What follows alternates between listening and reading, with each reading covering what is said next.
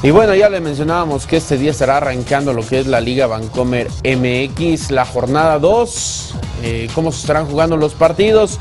Para este viernes 25 de julio, eh, bueno, pues en Morelia en punto de las 7.30 de la noche, ya en el Cerro del Quinceo, estará enfrentando a los rojinegros del Atlas en el TCM.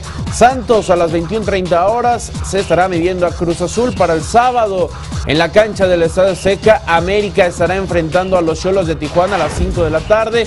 Puebla contra Veracruz a las 7 de la, a las 5 de la tarde en el Cuauhtémoc el día de mañana. Tigres contra León en el Universitario a las 7 de la noche. Pachuca contra Monterrey en el Hidalgo a las 20 horas. Jaguares contra Toluca a las 21 horas. Y para el domingo 27 de julio en eh, Ciudad Universitaria, uno de los partidos atractivos. Oiga este dato. Va, se van a cumplir nueve años de la última victoria de Chivas en noviembre del 2004. Ganó el Guadalajara cinco goles a uno.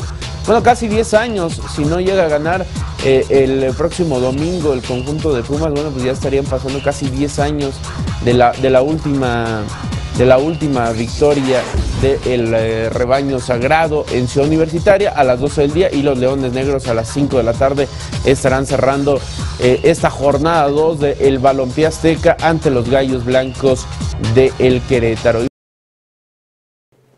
Adrenalina. Entérate de lo último acontecido en los deportes. Te invitamos a ver los siguientes videos en Adrenalina.